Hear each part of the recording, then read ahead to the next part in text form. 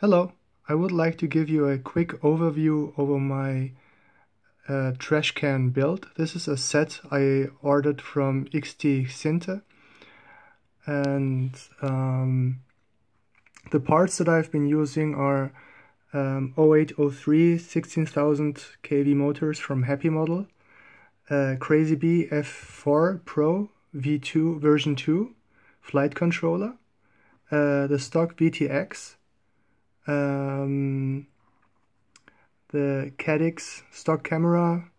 Uh, no, it's not the stock camera. It's the Caddx camera EOS 2, but uh, with a 4 to 3 ratio. Uh, Gemfan 1636 props, the 4 blade. I also ordered the uh, 3 blade props and I will try these ones. And um, UXI antenna. Um, the UXI antenna works fine, but I'm not that happy with it. So the the range is quite okay, but but the penetration is quite weak. So as soon as you fly behind trees, the, you get breakups. So maybe try the the original antenna, the the AXI, uh, Lumenier AXI antenna, or maybe a, a, a small uh, pagoda antenna. Um, I've also added an FrSky XM Plus receiver that I placed just underneath the flight controller. An um, XT30 connector. Uh, I would recommend you to um, to use the XT30 connector from Ames I don't know how to pronounce it, uh, Amas or Amos, because it's um, lighter than some other uh, XT30 connectors.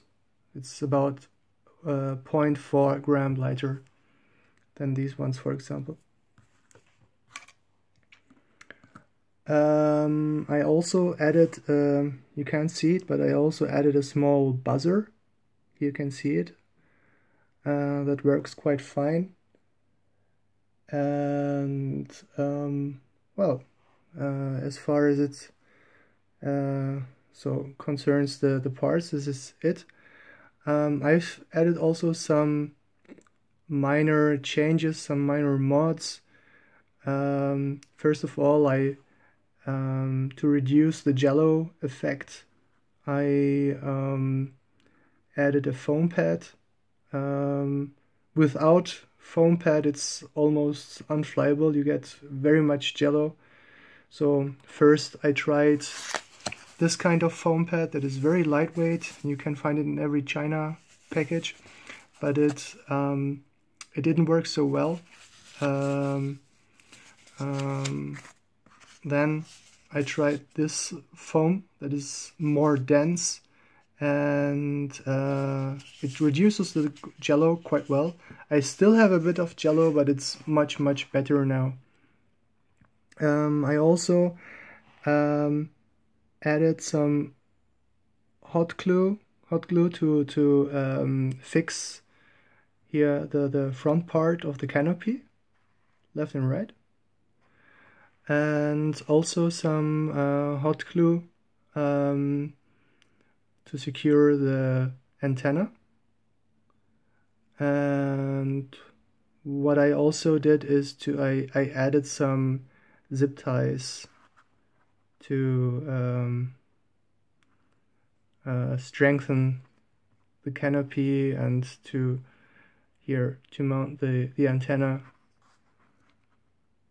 for the, also for the cables here and um, also here a small um, foam pad underneath the antenna to avoid uh, vibrations.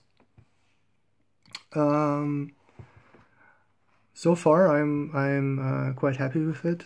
Um, I get around about three minutes when I'm gentle on, on throttle, and about two to three metal, uh, minutes uh, freestyle or acrobatic flying. Um, it weighs roundabout um, 37 gram. And um, I'm I tried for 2S batteries. I tried the uh, Nanotech 300 milliamp, the 35 to 7 and the 45 to 90, and you can really see uh, or feel uh, uh, difference between these both. I can clearly recommend the uh, the one with a higher C rate because it, it, it holds up the, the voltage uh, better. Um, yeah, and it weighs with the XT30 connector. This battery weighs about um, 17.8 gram. Um, I also tried a, um, a 1S battery, this Euro Eurowave 550 milliamp. Um, it it has uh, less power. It flies smoother. It's definitely more for indoors.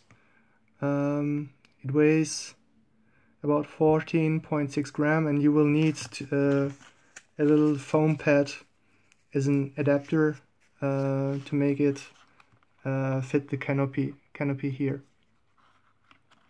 Um, uh, I can really recommend the Gemfan propellers compared to the uh, stock propellers. Uh, they are better in every concern. Uh, they are more efficient, and you get notice noticeably more more punch, more power out of it but um, but you have to be careful since the the Gemfan props really uh, drain your battery. Um, yeah. Um, well, um, that's it. Um, I will post a link to the uh, wiring diagram on the Happy Model site. That was quite uh, useful when uh, building this whoop.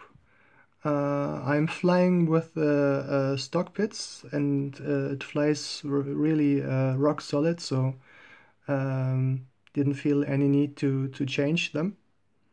And uh, well, um, if you have any questions, you can ask in the comment section. Um, yeah.